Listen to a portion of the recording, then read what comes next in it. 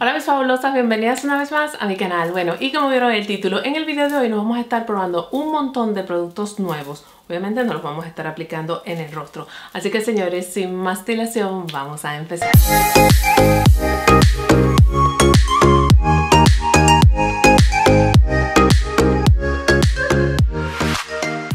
Bueno, y aquí en esta cajita he ido acumulando unos cuantos productos y en el día de hoy, por supuesto, los vamos a probar como les dije al principio, así que no voy a hablar mucho para no hacer este video largo y los dejo con el video.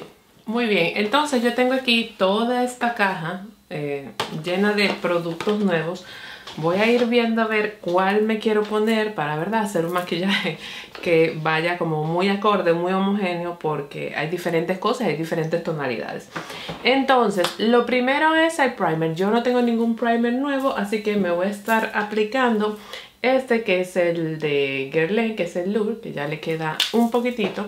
Este primer, como siempre lo he dicho, me gusta, no me parece una cosa súper fabulosa. Es verdad que hidrata, pero eh, creo que en el mercado hay mejores o que aportan más hidratación y mucho más económico. No es malo, pero tampoco es súper fabuloso. Ahora, señores, como base tengo esta que es la Airbrush Flawless, que es de Charlotte Tilbury. Miren la, o sea, esta es la cajita. Yo tengo la tonalidad número 4. Miren, o sea, el envase me parece súper wow, como todo lo de Charlotte. Entonces, vamos a ver qué tal. Ellos dicen que esta base es una base que aparte de que aparte de que es una base que dicen que te va a durar como todo el día y toda la noche dice que tu piel se va a ver flores, que se va a ver jugosa, etc. Esta realmente es una base que es más recomendada para pieles eh, de normales a secas, así que vamos a ver qué tal. Yo uso la tonalidad, como le dije, 4 neutral. Y aquí tengo para aplicar eh, estas esponjas que me vinieron hace mucho en una Boxy Charm. Estas son de la marca de Luxy, yo decía Pixie, Luxy. Y vamos a ver qué tal, porque la verdad es que así me parece que están como como dura, amiga. Esto yo lo siento duro. La acabo de humedecer, señores, y la verdad es que mm, está un poco más blanda. Obviamente, como pueden ver, su tamaño ha aumentado. Pero bueno, vamos a ver. Entonces, vamos a probarnos la base. Yo voy a poner un par de pan. Esta base la noto como un poco más amarilla de la cuenta. No sé si me vaya a quedar bien, pero bueno, vamos a probar.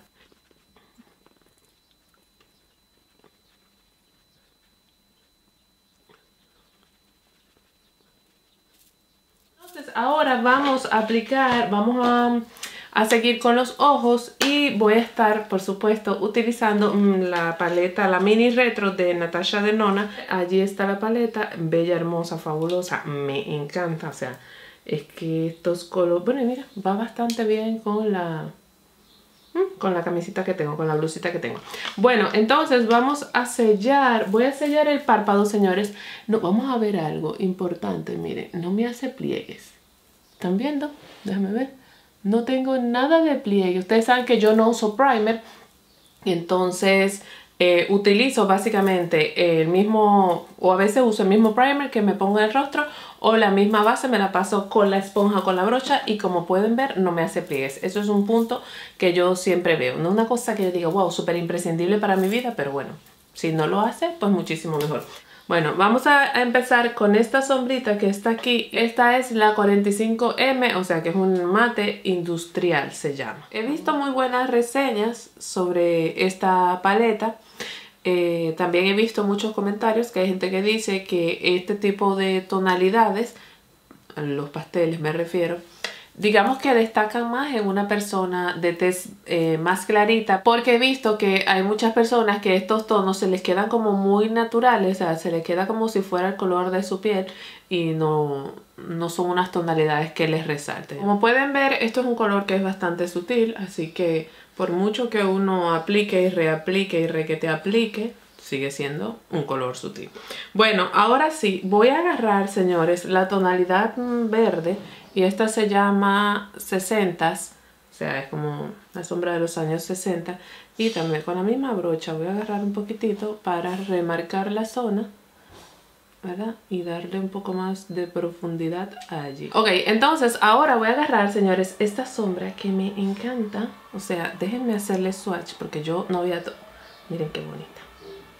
Uy, por Dios, miren. Y vamos a hacerle swatch a la otra. Esta que tenemos aquí es la Pixie y es una, mm, o sea, de acabado metálico. Ok, ahí se ve bien. Esta es de acabado de croma crystal, que como pueden ver hay una diferencia entre la metálica y esta. Obviamente esta te da un acabado que es más húmedo. Entonces vamos a probar esta primero, la metálica, un poco. Miren qué bonito. De verdad que está muy muy bonito y me gusta porque es que se ve bien, pero no no es una cosa que tú digas, wow. Entonces, esta la vamos a poner en todo el párpado, señores. Solo un poquitito y miren, me ha alcanzado para todo el párpado. Obviamente ahora hay que arreglar lo que son las, o sea, las uniones de ambas sombras. Y voy a agarrar la croma crystal y la voy a poner en el centro. Wow. Me gusta, me gusta. Y por supuesto, para finalizar voy a agarrar la misma sombrita verde, ¿verdad? Que esto es en acabado mate, obviamente y me la voy a poner en la parte inferior de las pestañas pero solo un poquitito, solo quiero un poco de sombra en esa área o sea, como que de una sombrita así de que es súper natural, ¿verdad?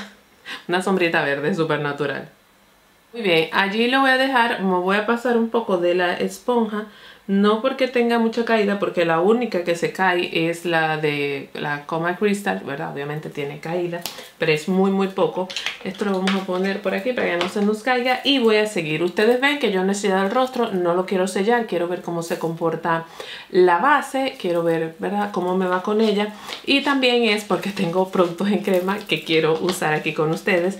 De Fenty Beauty, yo mm, recuerdan que les hice un video hace poco hablándoles de productos que tenía en la mira. Y de los que yo tenía en la mira, obviamente era el bronzer de Fenty Beauty, valga la redundancia. Agarré la tonalidad más clarita, que es la Amber, la 01. Como pueden ver, este es el packaging, me parece fabuloso, me parece precioso. Me encanta este tipo de packaging, lo malo es que, bueno, que usted lo ve ahí, pues miren, ya, ya se ensució. Eh, agarra las huellas bastante rápido.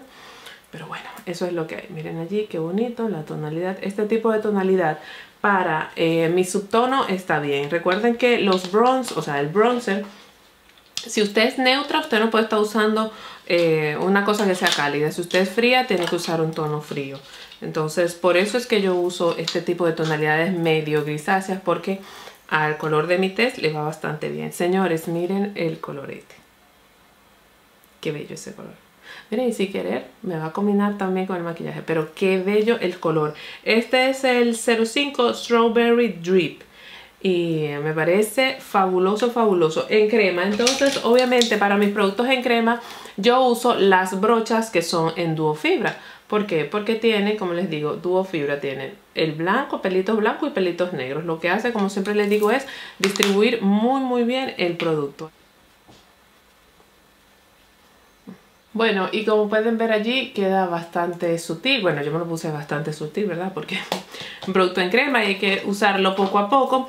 Y ahora, señores, vamos a usar el colorete, que esto me emociona.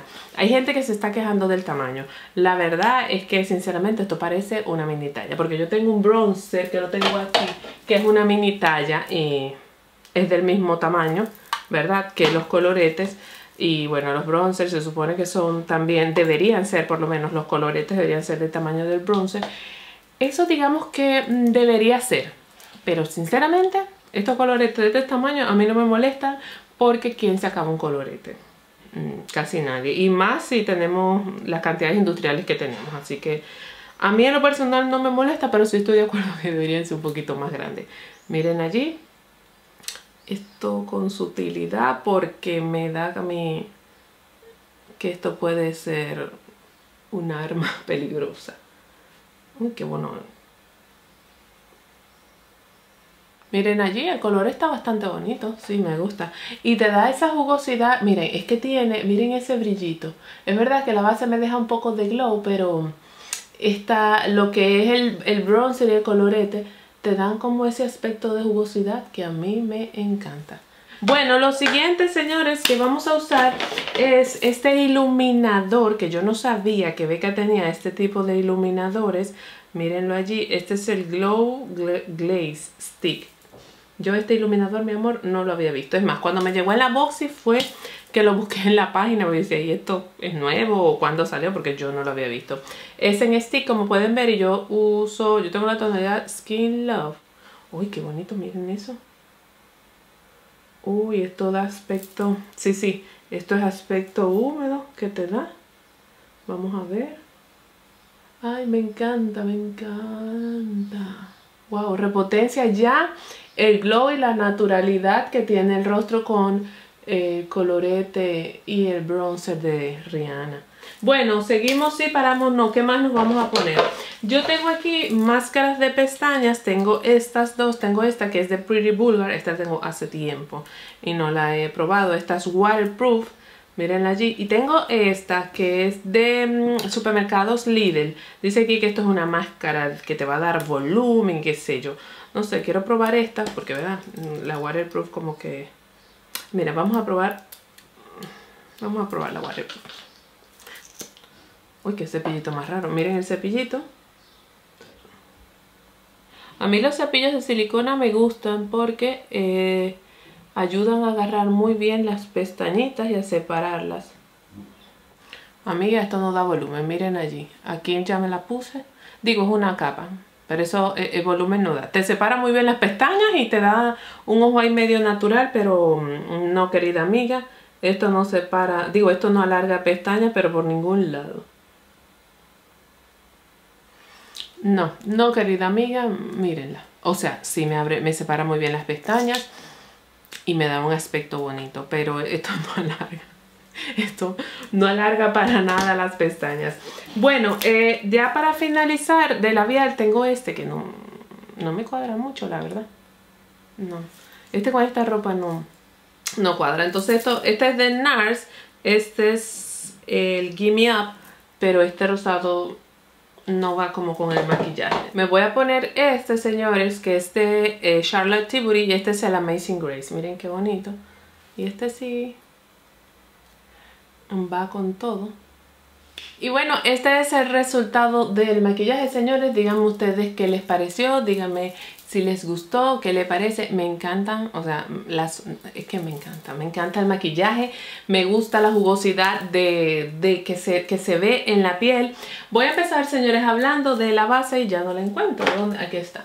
La base eh, eh, me queda un poquito amarilla lo que sí, bueno, tengo que obviamente rebajarle la tonalidad, pero me gusta el aspecto de que me deja en la piel.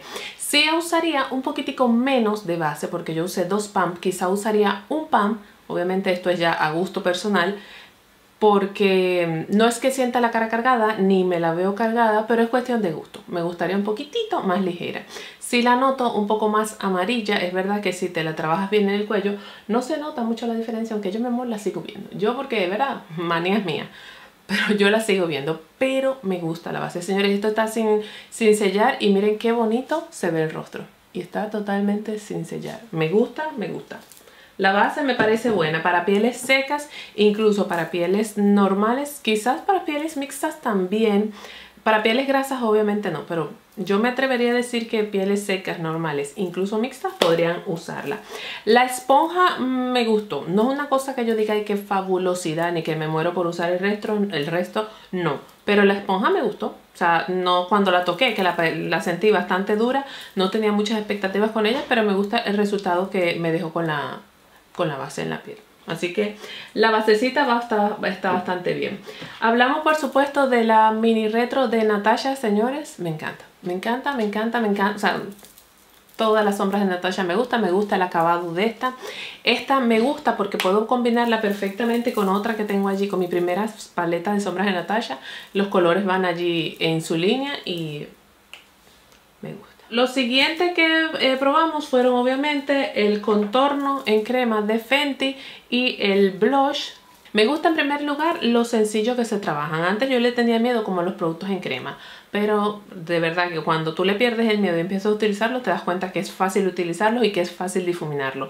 Porque yo decía, es que difuminar eso tiene que ser horroroso, te vas a llevar la base, te vas a llevar todo. No, es súper fácil. Yo siempre recomiendo usar eh, brochas duo fibra, que es como la mejor forma de usar los productos en crema. El colorete me gusta, me gusta el color tan natural que deja, a pesar de ser un color fuerte, porque usted ve esto y te dice, no mi amor, ¿y para dónde yo voy con eso? No entonces se lo pone y miren cómo queda. Yo quería realmente el blush rojo, pero eso se acabó de una vez. Pero que me espere, que yo algún día lo buscaré.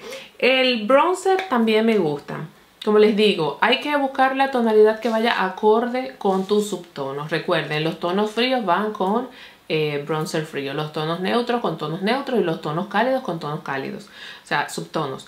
A mí no me quedaría bien un bronzer que sea de subtono cálido. ¿Por qué? Porque ¿verdad? Esto no, no cuadraría. A la final terminaría, o sea, el color se me vería como barro, como sucio en la piel. Entonces hay que tener cuidado con esto. Me gusta lo fácil que se difumina y lo fácil de aplicar. En cuanto al tamaño, realmente como les digo, no tengo problema, aunque sí entendía que deberían ser un poquitico más grandes. Y ya para finalizar, señores, este iluminador de Beckham me ha sorprendido. En primer lugar, no lo conocía. Cuando lo vi, yo dije, ¿esto de dónde salió? Porque esto yo no lo he visto, ¿será que es nuevo? No, esto tiene un tiempo ya en la página, pero bueno, me gusta.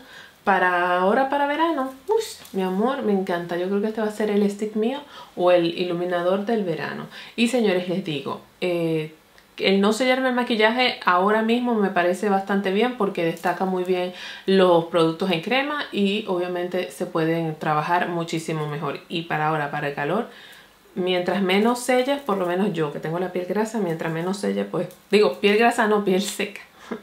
muchísimo mejor.